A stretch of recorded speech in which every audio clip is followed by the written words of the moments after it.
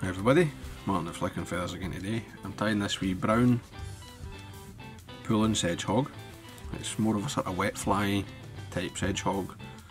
Um, this one, you can tie a sparser variation, uh, basically the same scheme and it does make a good dry as well. As always I will put a materials list in the description along with a link to the Patreon page for anybody that wants to support the channel, get access to the members only content the monthly fly tying meetings and enter the giveaways. You can also subscribe, hit the bell button so you get notified of the new videos, that's all appreciated. So I've got my hook and my vise, this is a size 10 Kamasan B175 and I've just started some fluorescent orange Danville's uh, from 140. It doesn't really matter what thread you use for this stage as long as it's kind of a light orangey colour. It's just to preserve the colour of the dubbing.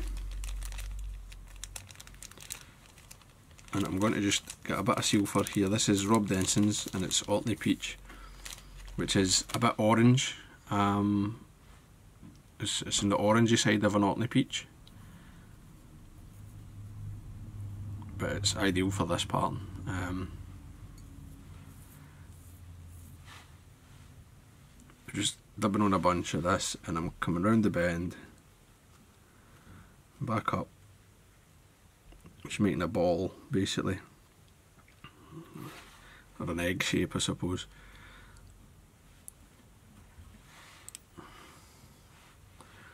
And then bring my thread up to the front. And I'll switch over to the black. Now if you want to you could just stick with the orange thread all the way through. Um,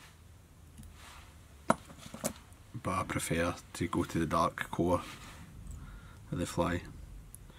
So we're going to tie back, and don't worry about going over the dubbing here, it just this will actually help to um, spread your tail a wee bit. And I've parked my thread now at the barb of the hook, which will be my tie-in point, and then I'm going to tie in, I've got here say half a dozen strands, five strands, something like that, of orange crinkle mirror flash. Just going to draw it in so the waste's basically the length of the body. Tidy everything up. You don't need to be super fussy with your underbody here. Just get that on top and you can use your thumbnail just to sort of spread it over that dubbing and you can see there it's quite a wide spread across the top of the that dubbing ball. We'll just trim this just now. Length I want it about the body length, not too long. You could go a wee bit longer if you wanted, up to you. And then I just like to sort of get a wee crease just to help it to sit. And then I'm going to follow that with a small amount of deer hair. I'm using roe buck the darker tip you can get, the better, I reckon, on this fly.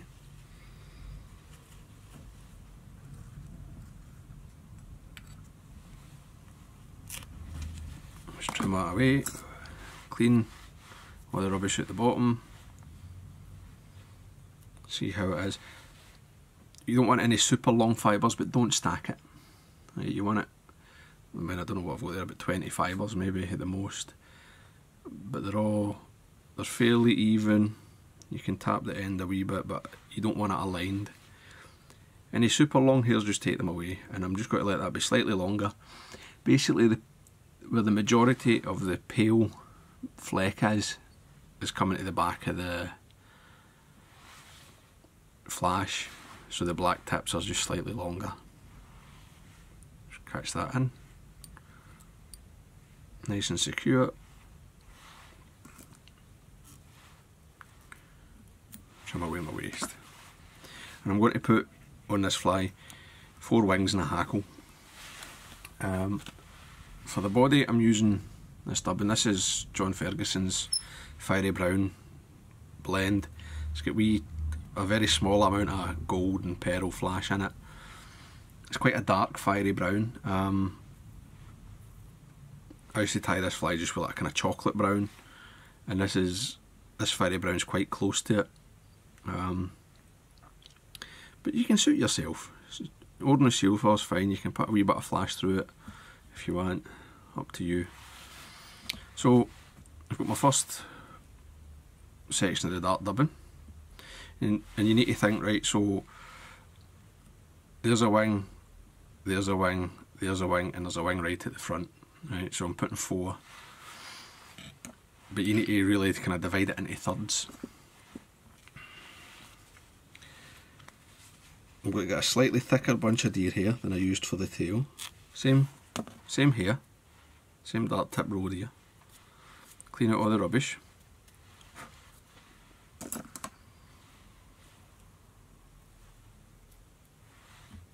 I'm going to offer this in. It's I want the tips slightly shorter right? So the black tip I don't know how well you can see that the black tip the the bulk of the black tips most of the black tips on this are sitting basically above the pale tips or the pale band on the tail section. So they're always just that like eighth of an inch shorter. Catch it in. You can just sort of rock it back and pinch it up so that the hair doesn't roll onto the side. If your sedge hogs, if your hair's are rolled on the side, they'll end up spinning when you strip them, or the fly will sit on its side rather than sitting properly. So you just need to watch that. And that's the thing, like the rotary you can, I can just turn that and check. Once I'm happy with the position, I'll just tie back against that dubbing and tidy up. I'll grab another wee bit of the same dubbing.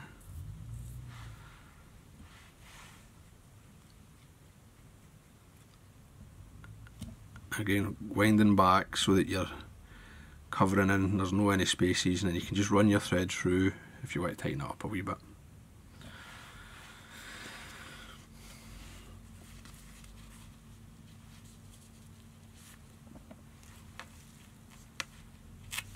another bunch. They're quite repetitive. Hedgehogs, hedgehogs.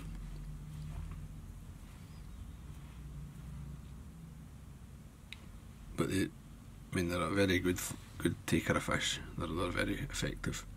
Got to come in, but the same size a bunch here, and the same thing.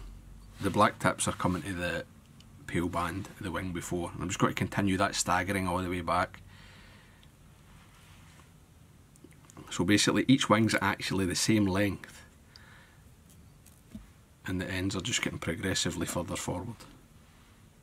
Don't don't be tempted as a lot of people are to make the leg each wing longer so you end up with like everything this back here. It's just far too much. Same again, just get that on. Run my thread along like that, make sure everything's got a thread base. Have a wee look check, it's fine. Tie back. More dubbing.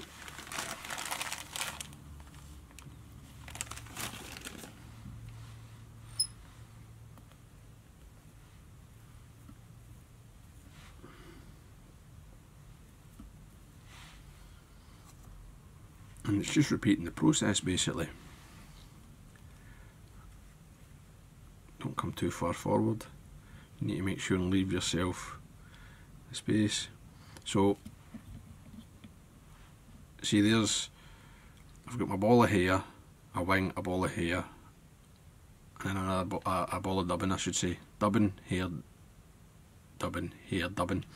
So I'm going to put my third wing in and I've still got a quarter of the shank right which will then be where I put the head on.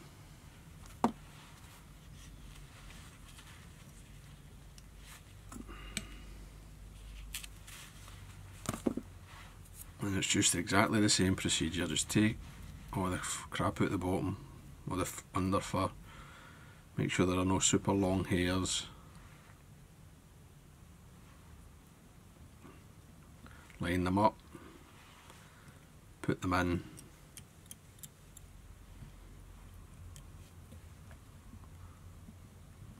You can flatten it with your thumb a wee bit if you need to. Just always check the far side. Trim. And then tie back. And the reason the reason for tying back is it, it, it means that you can the deer hair will spread slightly or flare a wee bit over the ball of dubbing but also it means that you don't get any gaps right? If you're just always going forward you might end up with a wee space which you don't want. A bit more of this. Dubbing.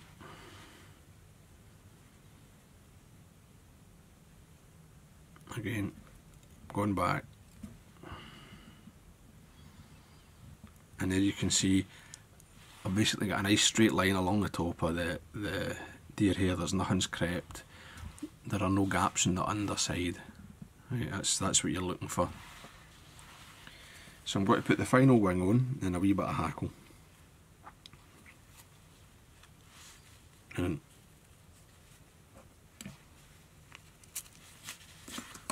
and you could actually, I mean, you could tie in a wing and put a bit more dubbing and just stop or you could put legs on or put a muddler head.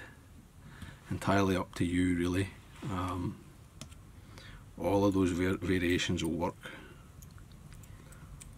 Get that again nice and secure. Don't worry if this one spreads a wee bit or flares a wee bit. Um,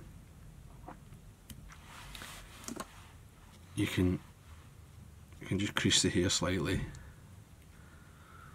so you don't have the dubbing together at the same and that the hackle will to an extent but it's not the same it doesn't have the same effect. I'm just using a red game hen hackle. Quite a dark one. Um, is nice on this.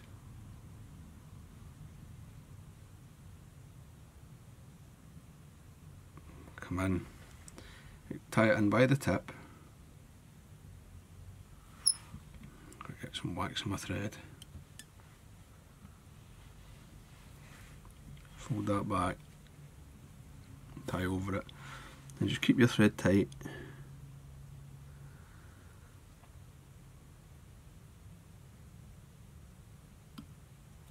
Put that away. And then fold your hackle and just wind it. And it will obviously depend on the quality of the hackle, how many turns you need. There's two. Hmm. It's about right there, two and a half, three. Three turns. Just draw everything back.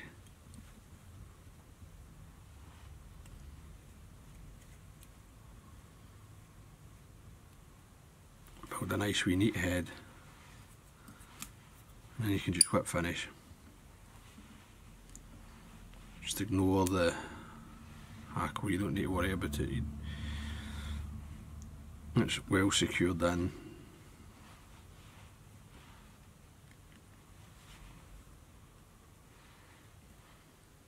Always two snap that away Come in with your velcro. Like to put that dubbing up into the wing. Then I'll come under, underneath and sort of pick that out a wee bit.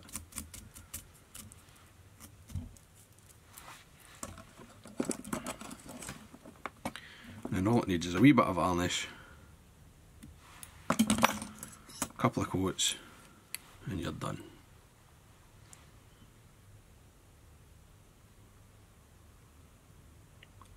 Just let it let the brush come over the eye, coat the thread, don't get it in your hackle.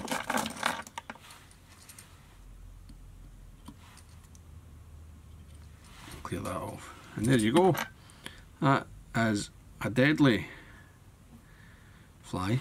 As I say, it's I mean it's it's great for the wild brownies, but it does work for stockfish as well. Um, and I've caught fish in this in Wales and Ireland, England, Scotland, Japan. Um, I mean, it will any still water trout if there are sedges about or if there's a bit of wave you can put it in the point, fish it like a washing line, you can put it in the top dropper. It's a great fly to have in the box. So I hope you enjoyed that and I hope it was useful. If it was, please remember to give me a thumbs up below and subscribe to the channel. Tight lines guys, bye.